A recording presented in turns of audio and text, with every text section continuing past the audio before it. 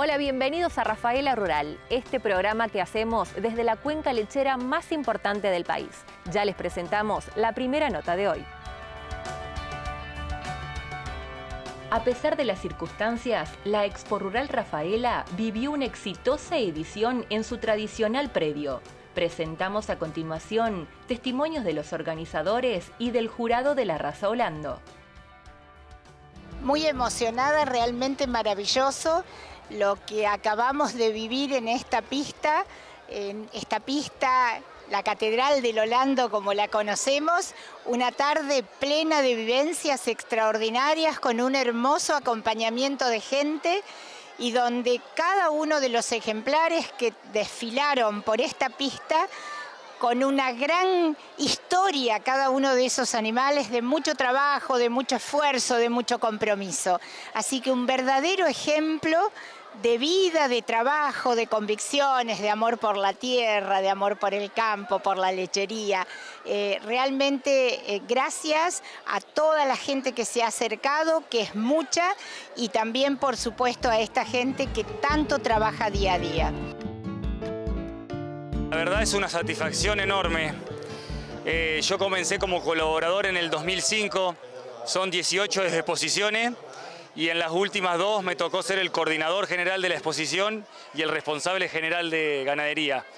Y bueno, hoy conoramos el esfuerzo que en estos últimos 10 meses como comisión directiva nos planteamos para, para que salga lo que salió.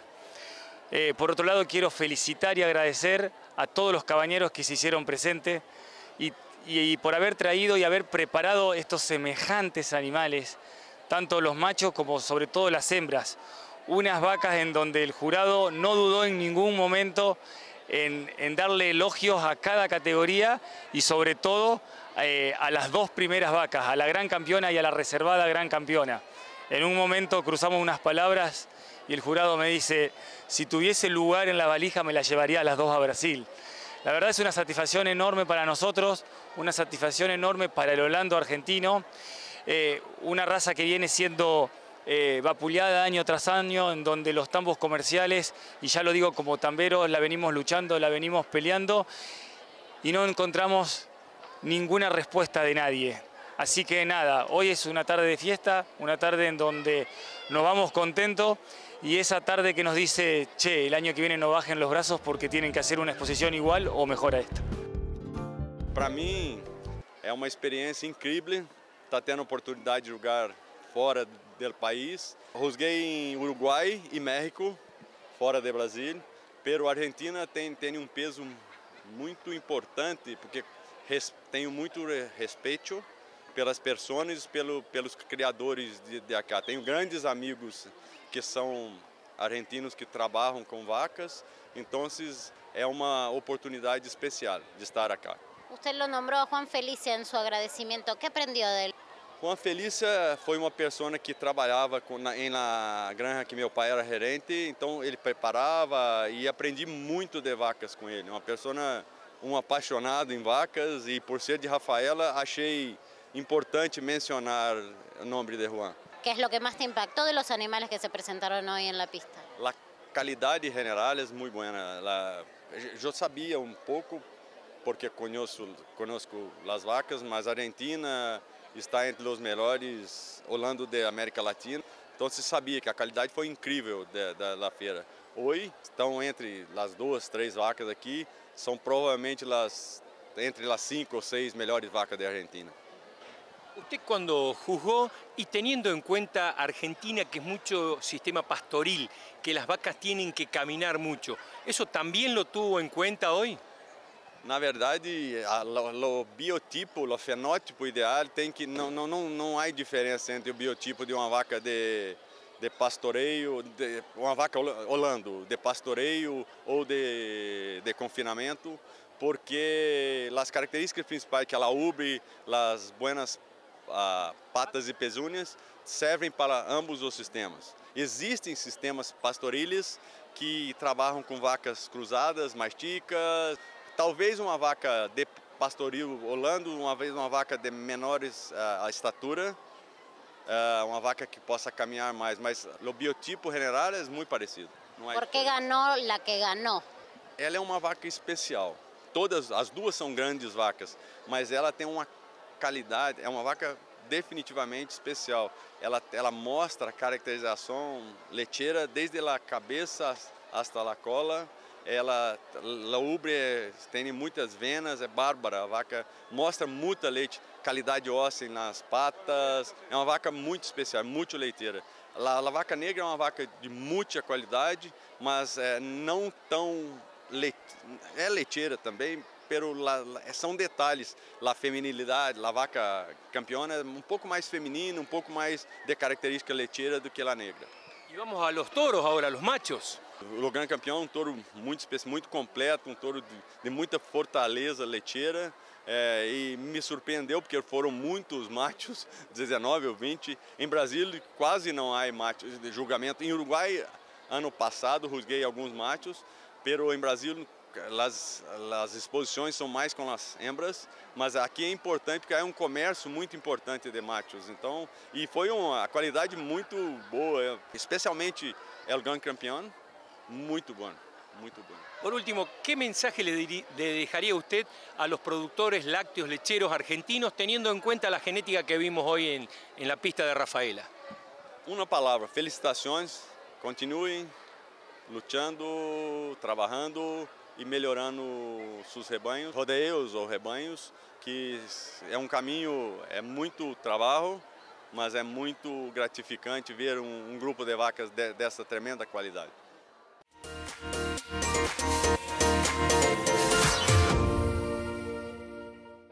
Hacemos la primera pausa del programa, no se vayan que enseguida volvemos con más Rafaela Rural.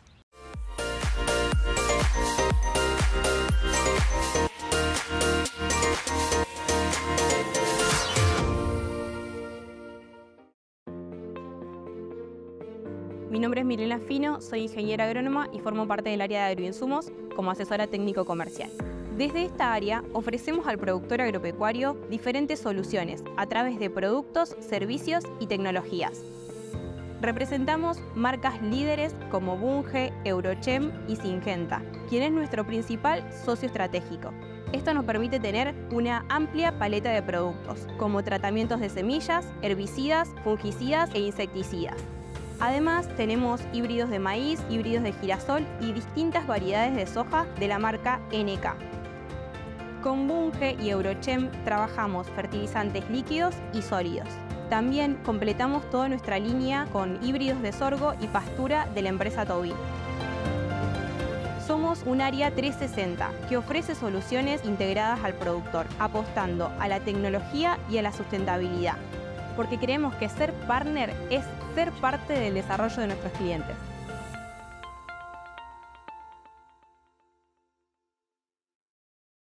Logiagro es un software que permite programar, organizar y controlar las actividades de tu empresa agropecuaria, generar resultados para la toma de decisiones y optimizar tiempos.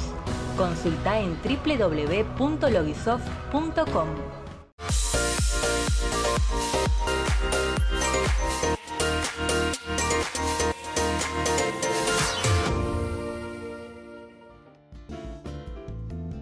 de las empresas que participó de la Rural de Rafaela fue Cuasolo Ingeniería.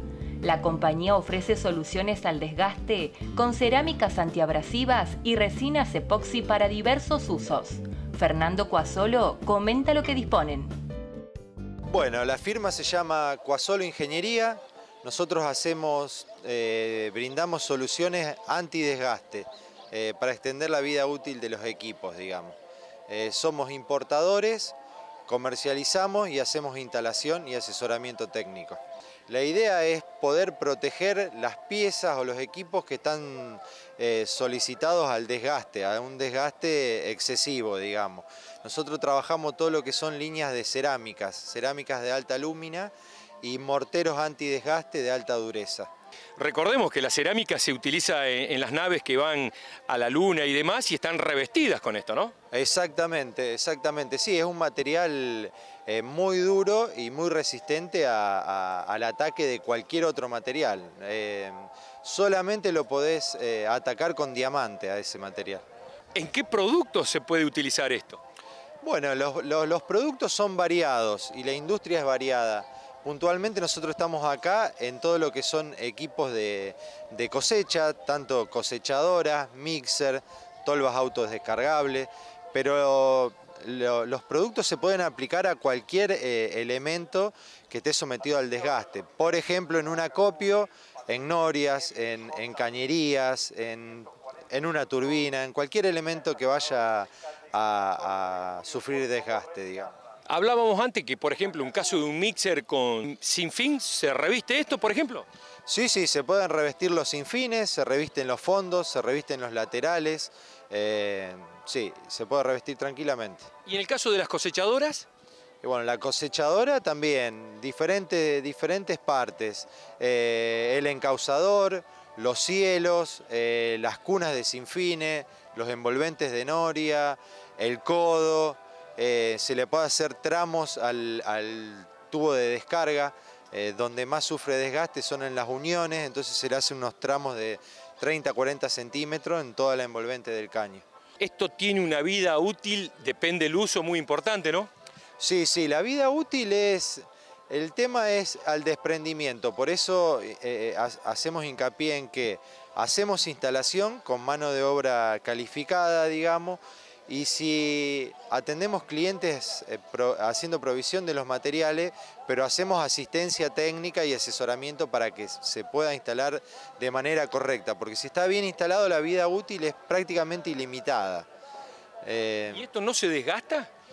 No, no, no se desgasta. No, eh, o sea, la semilla tiene que pasar muchísimas toneladas para que la empiece a gastar. Por otro lado, también te respalda empresas y fábricas muy importantes del país que están eh, utilizando los servicios y los productos que vos ofrecés, ¿no? Sí, sí, gracias a Dios atendemos a, trabajamos mucho con toda la parte, el cordón industrial eh, de Rosario, todo, atendemos a los puertos, eh, clientes de primera línea como AGD, Vicentín, Renova, Cargill, Bunge, y después también fabricantes de equipo, atendemos concesionarios John eh, y bueno, diferentes firmas que conocen y utilizan los productos, digamos. Y bueno, en los puertos se utilizan en, prácticamente todos los equipos, todas las cañerías, ciclones, balanzas de embarque, bifurcaciones, válvulas, en todos los equipos donde pasa el grano van revestidos con estos materiales. Bueno, y además eh, trabajamos otros productos, trabajamos para la industria minera también, eh, hacemos revestimientos de, molinos, tenemos equipo eh, ladrillos y bolas para molinos, valga la redundancia, molinos a bola, ¿no es cierto? O sea que si aguanta las piedras quiere decir que son fuertes, Claro, exactamente, exactamente. Nosotros invitamos a lo que son los usuarios de los equipos, eh, que tienen problemas de desgaste, a los fabricantes de equipo, a los que prestan servicio como cementeros eh, y bueno, a toda la, gente vinculada a, la parte agropecuaria, digamos.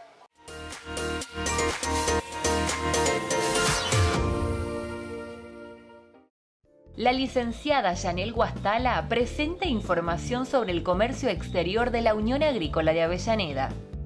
Nosotros lo que hacemos es exportar nuestros productos hacia el exterior. Exportamos cereales y subproductos. Dentro del área de cereales tenemos el maíz, el trigo, el sorgo y después eh, siguen los subproductos de los cuales sales, por ejemplo, el girasol, tenemos el pele de girasol, aceite de girasol, eh, luego con, con, el algodón tenemos eh, fibra de algodón, sale el aceite de algodón y lo mismo también eh, con pele de algodón. Los destinos eh, que nosotros exportamos actualmente son Uruguay, Paraguay, Chile, México, China, Malasia, Ámsterdam y bueno, diferentes países de Europa también. Estamos teniendo resultados muy positivos dentro de los hace tres años, o en realidad cuatro años atrás, es donde nosotros comenzamos a exportar y estos últimos dos años donde más exportaciones estuvimos. Puedo comentarles también que hay algunos ciertos requisitos que desde el exterior nuestros clientes nos solicitan, como la fumigación del producto o como la última exportación que nosotros tuvimos con el aceite de girasol que exportamos a Malasia. En ese caso nos pidieron un certificado halal de su religión en el cual nosotros tuvimos que habilitar la planta para poder exportar ese aceite de girasol. Desde nuestra parte nosotros estamos muy orgullosos de poder exportar nuestros productos con la entrega de los productores.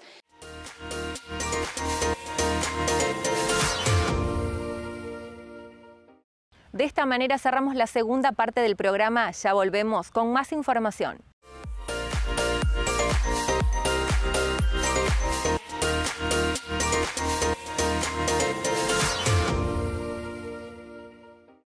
Indalac Argentina, líderes en fabricar químicos para la higiene de tambos e industrias, además de selladores de pezones, pezuñas y la mejor crema de ordeñe. Indalac, todos los días junto al productor lechero. Fontanini, fábrica de implementos y agromaquinarias MF. Disponen acoplados, cajas, semivolcador silero de 22 a 40 metros cúbicos. Además, representantes de equipos FLIG. Fontanini.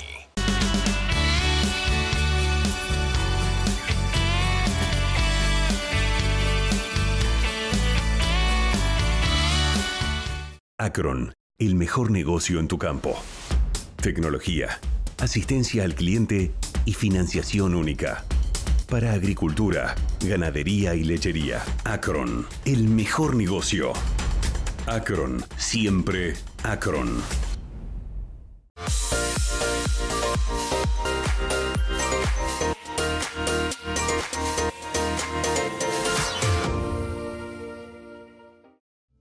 Cuando participamos de la muestra organizada por la Sociedad Rural de San Cristóbal, visitamos el stand de la Cooperativa Agrícola Mixta de Margarita. En esa oportunidad, el ingeniero agrónomo Emanuel Romagnoni se refirió a los alimentos balanceados Nutrimark.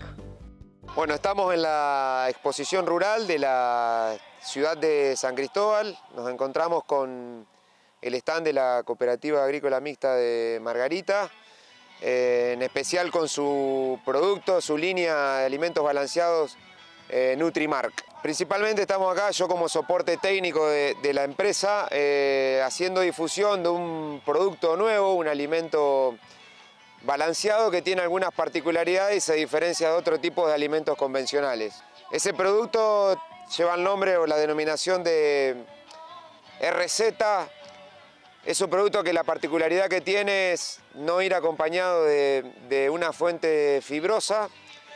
Se suministra en forma de autoconsumo, o sea, el animal este, toma el alimento eh, de forma de, como un comportamiento en autoconsumo, valga la redundancia, y no requiere periodo de acostumbramiento. Es un producto que se está utilizando mucho, más aún en esta época que estamos con un déficit forrajero tanto de pastizales como de fuentes externas. La línea RZ está posicionada para terneros de destete precoz, terneros o novillitos en recría y para novillos en terminación. Eh, para las tres categorías este, se tiene que dar, la recomendación técnica es darlo en silos de autoconsumo tipo honguito o tipo vagón. Viene de forma peletizada y tiene muy buena respuesta animal, con, aumentos diarios de peso vivo que están en el orden para, por ejemplo, para categorías de terminación, alrededor de un kilo y medio eh, por animal por día, aumento diario, con consumos que van del, 2 al 2,5% del peso. Y una característica técnica muy buena que tiene es que este, tiene una conversión eh, muy buena, que está en el orden de 4,5 5 a 1.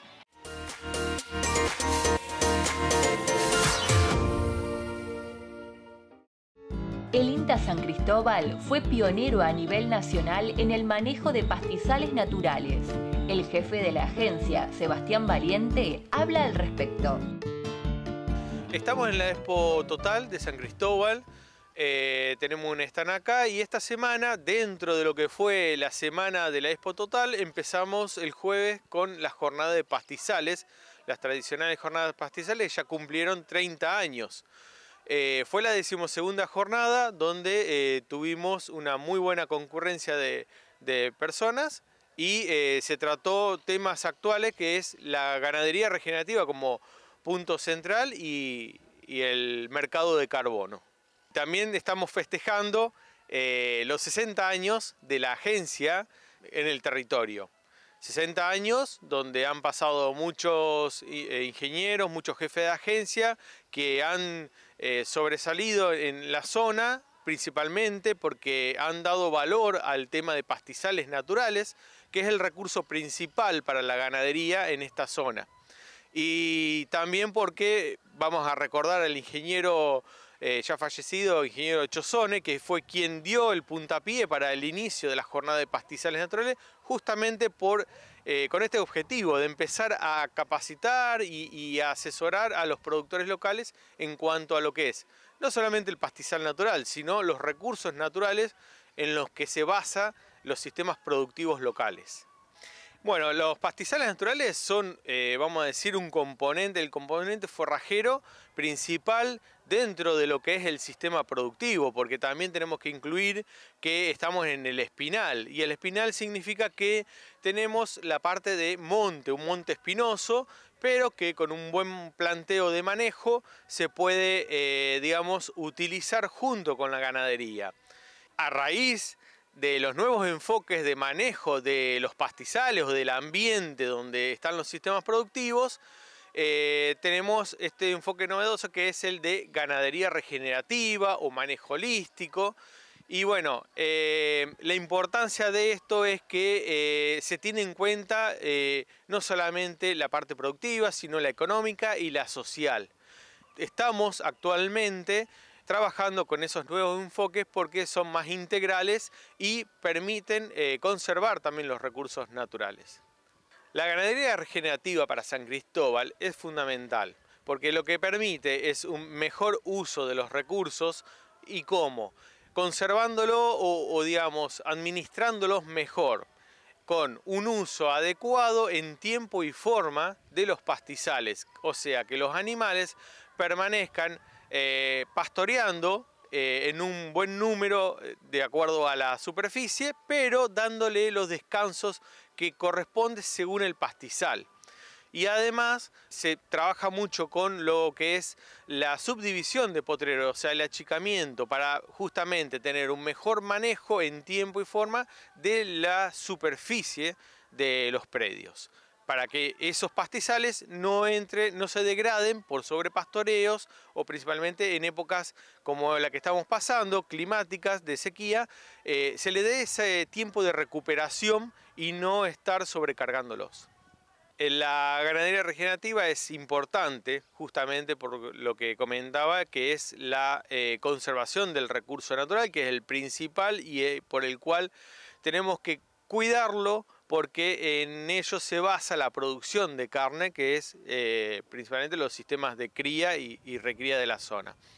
Y es importante eh, también eh, destacar el hecho de que el INTA en la zona está trabajando con ganadería regenerativa ya de hace dos o tres años y que estamos ya teniendo algunos resultados que podemos ir mostrándolo quizás el año que viene y estamos en la unidad demostrativa Nueva Palmira, en Capivara. Ahí tenemos la unidad donde estamos aplicando este nuevo enfoque y con resultados que son bastante prometedores para eh, el productor.